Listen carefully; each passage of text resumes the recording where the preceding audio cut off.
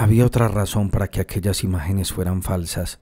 y es que, forzosamente, estaban muy simplificadas. Indudablemente, había yo encerrado en el refugio de unos nombres esas aspiraciones de mi imaginación que mis sentidos percibían solo a medias y sin ningún placer en el presente. Y como en ellos fui acumulando ilusiones, eran imán para mis deseos. Pero como los nombres no son muy grandes, todo lo más que yo podía guardar en ellos eran las dos o tres curiosidades principales del pueblo que se yuxtaponían sin intermedio. Y en el nombre de Balbec veía yo, como en esos cristalitos de aumento que hay en la punta de los portaplumas que se venden como recuerdo de una playa, alborotadas olas alrededor de una iglesia persa. ¿Acaso la simplificación de estas imágenes fue motivo del imperio que sobre mí tomaron? Cuando mi padre decidió un año que fuéramos a pasar las vacaciones de Pascua de Resurrección a Florencia y a Venecia, como no me quedaba sitio para meter en el nombre de Florencia los elementos que, por lo general, componen una ciudad, no tuve otro remedio que inventar una villa sobrenatural, nacida de la fecundación de lo que yo creía ser esencialmente el genio de Giotto por algunos perfumes primaverales. A lo sumo, y como en un nombre no cabe más tiempo que espacio, el nombre de Florencia, lo mismo que algunos cuadros de Giotto que muestran a un mismo personaje en dos momentos distintos de la acción, aquí acostado en su cama, allí preparándose a montar a caballo, se me aparecía dividido en dos compartimientos. En uno, bajo un arquitectónico dosel, contémplase un fresco y una cortina de sol matinal, polvoriento, oblicuo y progresivo, parcialmente superpuesta a la pintura. En el otro, porque para mí los nombres no eran un ideal inaccesible, sino un ambiente real donde yo iba a hundirme, la vida intacta y pura que en ellos me figuraba daba a los placeres más materiales y a las más sencillas escenas la seducción que tienen en los cuadros primitivos. Iba yo atravesando rápidamente, en busca del almuerzo que me esperaba con frutas y vino de Chianti, el Ponte Vecchio, todo lleno de junquillos, de narcisos y de anémonas. Y, aun estando en París, eso es lo que yo veía, y no las cosas que tenía a mi alrededor. Hasta si se mira desde un simple punto de vista realista, ocupan más espacio en nuestra vida las tierras que a cada momento deseamos que aquella en que realmente vivimos. Evidentemente, si yo me hubiera fijado más en lo que había en mi pensamiento cuando yo pronunciaba las palabras ir a Florencia, a Parma, a Pisa, a Venecia, me habría dado cuenta de que lo que yo veía no era una ciudad, sino algo tan diferente de todo lo que yo conocía, tan delicioso como podría ser para una humanidad cuya vida se desarrollara siempre en anocheceres de invierno, la desconocida maravilla de una mañana de primavera. Esas imágenes irreales, fijas, las mismas siempre, que llenaban mis días y mis noches, diferenciaron aquel periodo de mi vida de los que le precedieron y que habría podido ser confundido con ellos por un observador que no viera las cosas más que desde fuera, esto es, que no viera nada. Lo mismo que en una ópera introduce una novedad, un motivo melódico, que no se podría sospechar si nos limitáramos a leer el libreto, y menos aún si nos estuviéramos fuera del teatro contando los cuartos de hora que transcurren. Y ni siquiera desde este punto de vista de la simple cantidad son iguales los días de nuestra vida. Las naturalezas un poco nerviosas, como era la mía, tienen a su disposición para recorrer los días velocidades diferentes como los automóviles. Hay días montuosos, difíciles, y tardamos mucho en trepar por ellos, y hay otros cuesta abajo, por donde podemos bajar a toda marcha, cantando. Durante aquellos meses en que yo volvía como sobre una melodía, sin hartarme sobre aquellas imágenes de Florencia, de Venecia y de Pisa, que despertaban en mí un deseo tan hondamente individual, como si hubiera sido un amor, amor a una persona. Yo no dejé de creer, por un momento, que dichas imágenes correspondieran a una realidad independiente de mí, y me hicieron sentir esperanzas tan hermosas como la que pudo tener un cristiano de los tiempos primitivos en vísperas de entrar en el paraíso. Así, sin mirar y tocar con los órganos de los sentidos, lo que fue obra de las ilusiones, lo que los sentidos no percibieron, y por eso era más tentador para ellos, más diferente de lo que conocían. Todo lo que me recordaba la realidad de esas imágenes inflamaba mi deseo, porque era como promesa de que sería satisfecho. Y aunque mi exaltación tenía como motivo básico el deseo de gozar placeres artísticos, mejor aún que con los libros de estética, se alimentaba con las guías y todavía más con los itinerarios de ferrocarriles. Me emocionaba pensar que aquella Florencia, que yo veía tan cerca, pero tan inaccesible en mi imaginación, distaba de mí, dentro de mí mismo, un espacio que no se podía recorrer, pero que, en cambio, podría llegar a ella dando una vuelta por un rodeo, es decir, tomando la vía de tierra. Claro que cuando yo me repetía, dando así gran valor a lo que iba a ver, que Venecia era la escuela de Giorgione, la casa del Tiziano, el museo más completo de arquitectura doméstica en la Edad Media, me sentía feliz. Pero lo era aún más cuando, al salir a un recado, yendo deprisa, porque el tiempo, tras unos días de primavera, era otra vez invernal,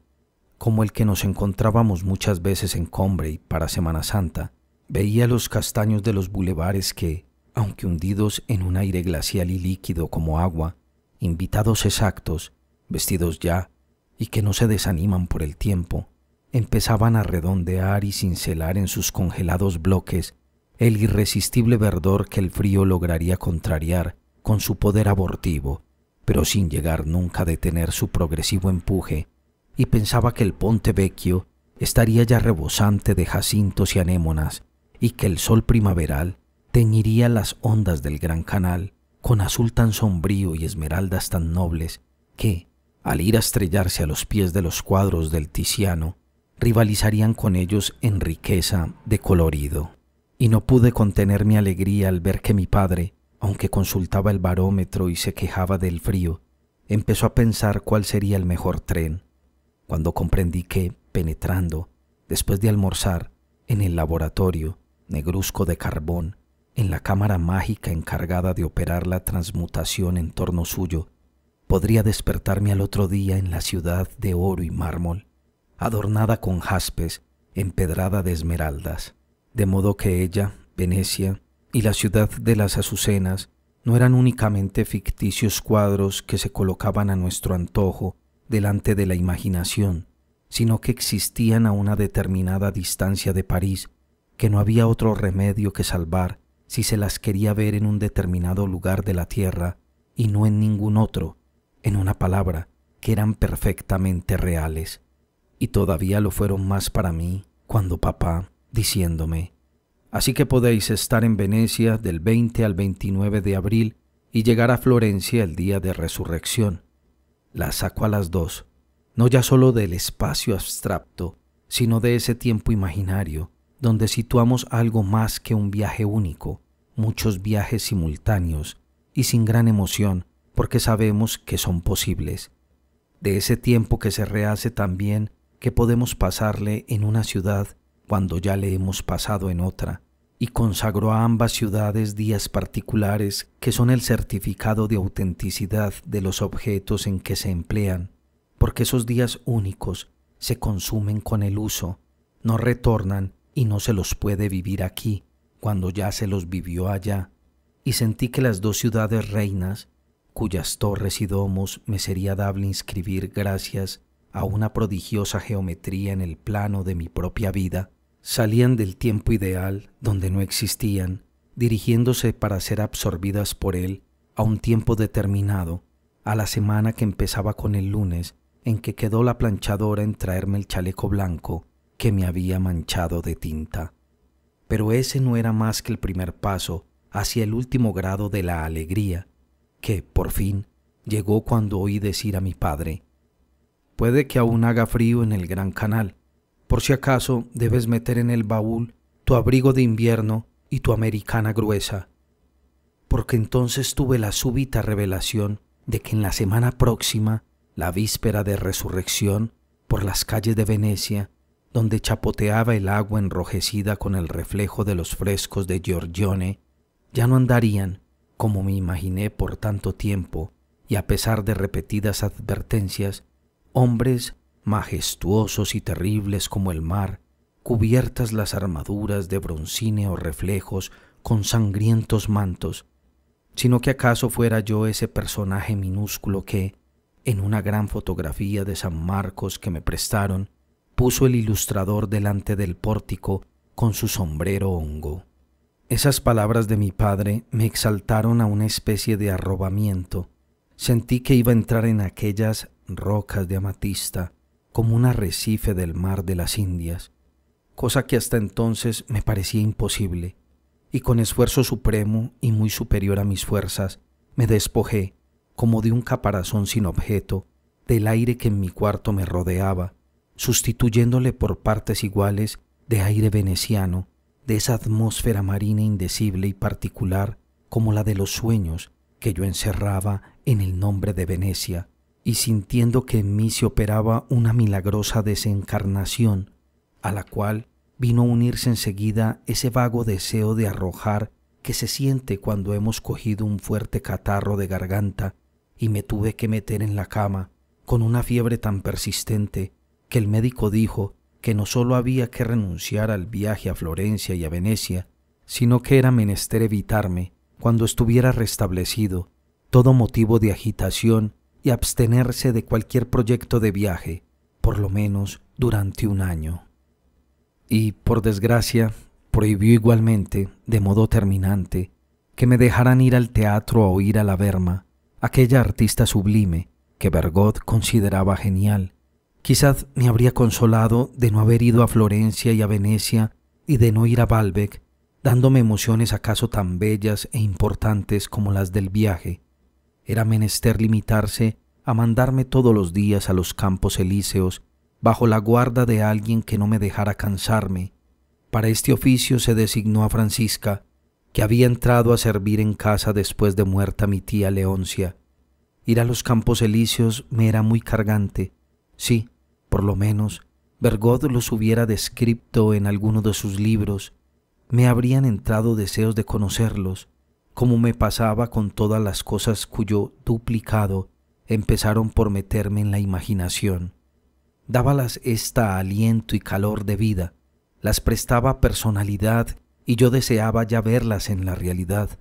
pero en aquel jardín público mis sueños no tenían a dónde acogerse. Un día, como estaba muy aburrido, en nuestro sitio de siempre, junto al tío vivo, Francisca me llevó a una excursión al otro lado de la frontera que defendían, separados por espacios iguales, los bastiones de los vendedores de barritas de azúcar, a aquellas regiones vecinas, pero extranjeras, donde se ven caras desconocidas y por donde pasa el coche de las cabritas. Luego volvió a recoger sus bártulos que había dejado en su silla junto a un macizo de laureles. Estaba esperándola, paseando por la pradera de raquítico y corto césped, amarillenta por el sol y que tenía al final un estanque dominado por una estatua cuando salió del paseo, dirigiéndose a una muchachita de pelo rojizo que estaba jugando al volante enfrente del estanque, otra que se iba poniendo su abrigo y guardando su raqueta, y que la gritó con voz breve. Adiós, Gilberta, me voy. No se te olvide que esta noche, después de cenar, vamos a tu casa. Aquel nombre de Gilberta pasó por junto a mí y evocó con gran fuerza la existencia de la persona que designaba, porque no se limitó a nombrarla como una ausente de la que se está hablando, sino que se dirigía a ella misma. Pasó junto a mí, por decirlo así, en acción, con fuerza realzada por la trayectoria de la voz en el aire y por lo próximo de su objetivo, llevando a bordo la amistad y las nociones que tenía de la persona a quien la voz encaminaba. No yo, sino la amiga que la llamaba, todo lo que al gritar veía, o al menos poseía en su memoria la muchacha, de su diaria intimidad, de sus mutuas visitas, de la vida desconocida, aún más inaccesible y dolorosa para mí, por ser tan familiar y manejable para aquella feliz criatura que me rozaba con todas esas cosas sin que yo pudiera penetrar en ellas, lanzándolas en un grito a pleno aire, dejando ya flotar en el aire la deliciosa emanación que desprendió la voz al tocarlos con suma precisión de unos cuantos puntos invisibles de la vida de la señorita de Swan, de cómo sería la noche esa en su casa después de cenar, formando, celeste pasajera por un mundo de niños y criadas, una nubecilla de precioso color, como esa que está, toda bombeada, flotando sobre un hermoso jardín de Poussin y que refleja minuciosamente, como nube de ópera, llena de carros y caballos, una apariencia de la vida de los dioses. Y, en fin, echando sobre aquella pelada hierba, en el sitio donde ella estaba, un trozo de césped marchito y un momento de la tarde de la rubia jugadora de volante que no dejó de lanzarle y recogerle hasta que la llamó una institutriz con unas plumas verdes en el sombrero, una franjita maravillosa de color de heliótropo, impalpable como un reflejo y superpuesta como una alfombra, que yo me cansé de pisar en paseos lentos, nostálgicos y profanadores, mientras que Francisca no me gritó. Vamos, échese los botones de su abrigo, que nos largamos. Cuando advertí yo, por primera vez y con enojo, que Francisca hablaba muy vulgarmente y no llevaba sombrero con plumas. ¿Volvería Gilberta a los campos elíseos? Al otro día no estaba, pero la vi los días siguientes. Me pasaba el tiempo dando vueltas alrededor del sitio donde estaba ella jugando con sus amigas, así que una vez que no eran bastantes para jugar a justicias y ladrones, me mandó preguntar si quería completar su bando, y desde entonces jugué con ella siempre que iba, cosa que no ocurría todos los días, porque muchas se lo impedían sus clases, el catecismo, una merienda, toda esa vida separada de la mía que ya había sentido pasar tan dolorosamente cerca de mí, condensada en el nombre de Gilberta, por dos veces, en el atajo de Combray y en la pradera artificial de los campos elíseos. Esos días anunciaba ella de antemano que no iría. Si era por sus estudios, decía, ¡Qué lata! Mañana no puedo venir. Vais a jugar y yo no estaré aquí. Con aire de pena que me consolaba un poco, pero, en cambio, cuando estaba invitada a alguna casa y yo, sin saberlo, la preguntaba si vendría a jugar al día siguiente, me contestaba, Confío en que no. Creo que mamá me dejará ir a casa de mi amiga.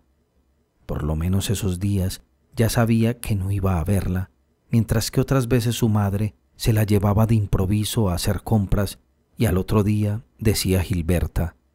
Ah, sí, salí con mamá,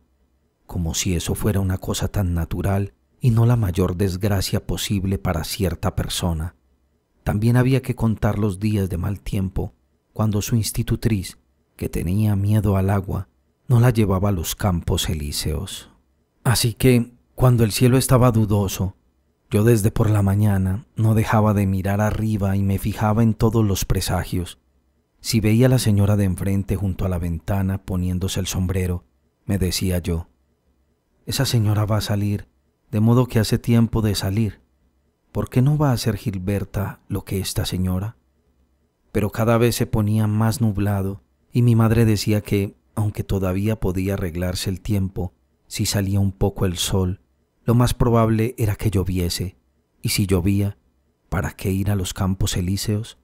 En cuanto acabábamos de almorzar, yo no separaba mis ansiosas miradas del cielo, anubarrado e incierto. Seguía nublado. Por detrás de los cristales veíase un balcón gris, y de pronto, en su tristón piso de piedra, observaba yo no un color menos frío, sino un esfuerzo por lograr un color menos frío, la pulsación de un rayo de sol, vacilante, que quería dar libertad a su luz.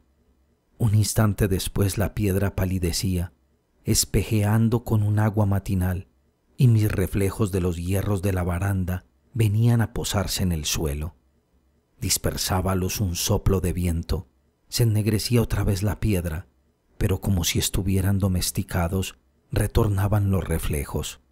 La superficie pétrea empezaba otra vez a blanquearse imperceptiblemente y con uno de esos crescendos continuos de la música que al final de una obertura conducen una nota hasta el fortísimo supremo, haciéndola pasar rápidamente por todos los grados intermedios. Veía yo como la piedra llegaba al oro inalterable, fijo de los días buenos, oro en el que se destacaba la recortada sombra del adorno historiado de la balaustrada en negro, como una vegetación caprichosa, con tal tenuidad en la delineación de los menores detalles que delataba la satisfacción de un artista que ha trabajado a conciencia y con tal relieve y tal densidad en sus masas sombrías, tranquilas y descansadas, que en realidad aquellos reflejos, largos y floridos, que reposaban en el lago de sol, parecía como si tuvieran conciencia de que eran garantía de calma y de felicidad.